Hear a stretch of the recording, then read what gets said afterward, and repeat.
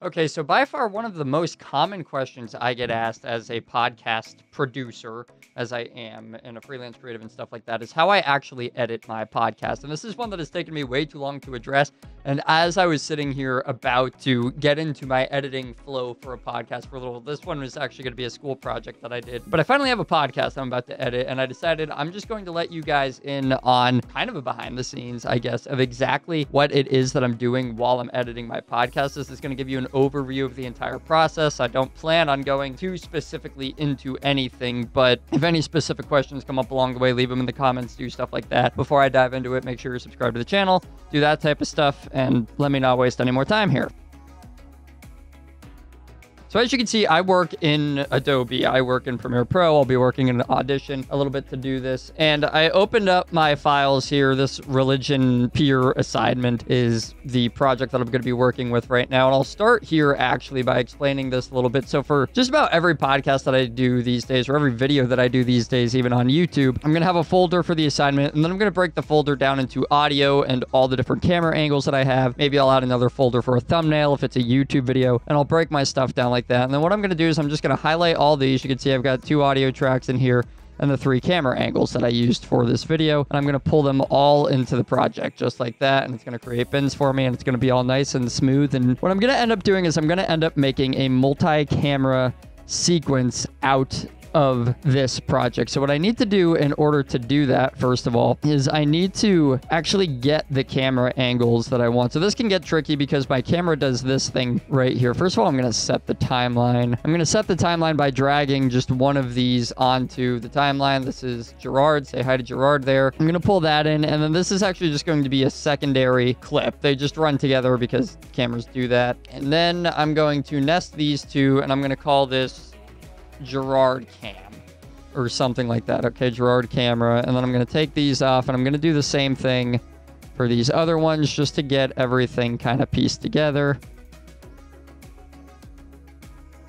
Right, and what I'm going to do is I'm going to take all these and I'm going to make a sequence out of these three. So I'm going to select all three of them, go here, go to create cam, multicam source sequence. I usually leave this name, whatever it is. You can find a more in-depth tutorial by clicking on the card that'll add to the video, but that should synchronize all of these and turn them into a multi-camera sequence for me. There we go. So now we have those clips are all processed with each other and we've got our multicam sequence. So I'm going to drag that onto the timeline, toggle on the little multicam mode. And now you can see just by pressing the one, two, and three buttons, I can switch back and forth between these camera angles as the time goes on. Now, this should be the camera one audio right now, which I believe is Gerard's camera. So whatever audio this was picking up that entire time is what this audio is right here. But I don't want that audio. I want better audio. So I've got zoom tracks three and four here. I don't even know which one is which, which one's Gerard and which one is me, but one of them is one and the other. And the thing they have to remember here is that these two tracks should be in sync with each other because I'm using the Zoom H6 audio recorder to record them. If you don't have a Zoom H6 or any sort of audio recorder like that, get one if you're serious about doing a podcast. It's going to save your life. But what I'm going to do is I'm going to drag either one of these, it doesn't matter which one, onto the timeline. And I'm going to highlight both audio tracks and I'm going to click synchronize. I'm going to synchronize them by the audio.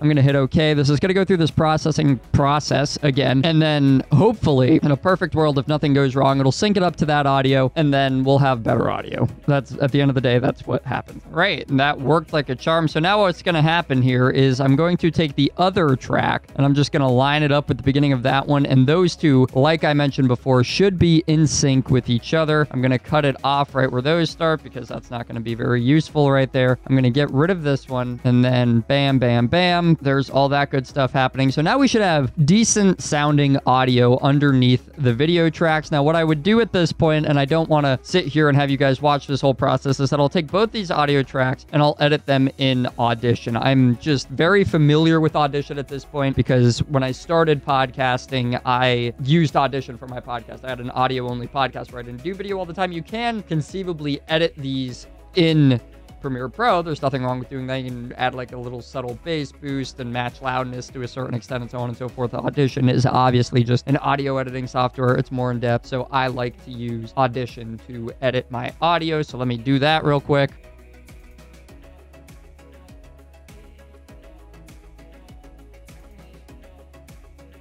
All right, so at this point, we should have our audio fairly taken care of. We should have everything else taken care of. So at this point, all I would do is I would just go through and switch the camera angles. All I do for that is I press the play button, and then this camera right here is going to be assigned to the one key on the top row of the keyboard. I don't even have a number pad, but if you do, that never works. Use the top row of the keyboard. Use your left hand. That's how you do it. And then this guy would be two, and this guy would be three. So I would just play through like this, and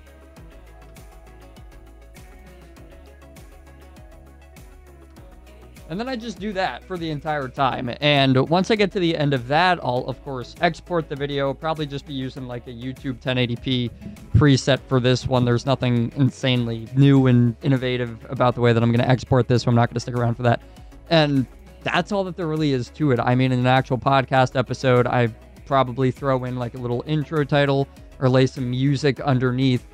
Now, let me just address, I guess, there are a couple of questions that when people ask me what my process is for editing, I think there are a couple of more specific questions that they actually want the answer to. And I think the first and foremost one is how long does it take me to edit a podcast? So usually my podcasts are longer than this, first of all. This one's like 20 minutes. They're usually one, two, or maybe even three hours long. I do very long form content, especially when I'm doing podcasts. And when I'm doing them in this style, they'll usually take me like a little bit longer than what the episode actually is. So if it's a two hour long podcast, I don't make a lot of cuts to or anything like that. I really just watch it through and switch the cameras. And you're switching the cameras in real time when you use multicam editing. So, like, it takes me two hours ultimately to edit the podcast. And then when you add in the little bit of like audio editing, like I just did in this video, and that type of stuff, maybe it bumps it up to two and a half hours, maybe three hours, you know, maybe an extra like half hour to hour beyond what the podcast actually is. Now, there are podcasts where you have to cut out a lot of ums and ahs. There are other podcasts where you have to cut out major sections, this, that, and the other. And those do take more time. So, I, you know, I don't want someone watching this and thinking that I just don't try or whatever the case may be. But for the basics of getting a podcast up and out there and looking, this is all that you have to do. You have to have an editing software. You can do basically the same thing in Final Cut or in anything that you might have with the multicam editing. Get a couple of cameras. You need multiple cameras set up, preferably three of the same ones. Also, note though, when it comes to how long does it take for me to edit a podcast, a big part of that uh, answer has to do with like, well, how well was it actually recorded in the first place because the less that you take care of in the recording, the more you're going to have to take care of